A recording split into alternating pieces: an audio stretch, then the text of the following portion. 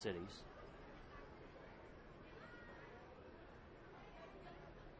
Now showing bunt, gets it over the first base side. Coming off the first baseman, Harem has to hurry. The throw to first is in time, but a run does come home to score. Hyde trying to reach first base, and Cougars might have caught a break. But the River Bandits take a third run. Up to second base goes Richie.